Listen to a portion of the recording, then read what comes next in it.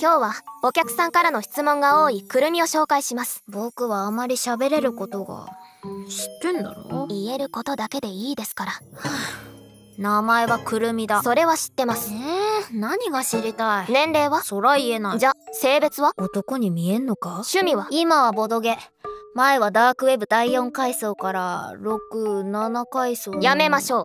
好きな映画。資料の腹渡ゼイリブ食べ物。ミカのおはぎ。年齢。だからそれは言えないって。生まれ変わったら？いや死なないし。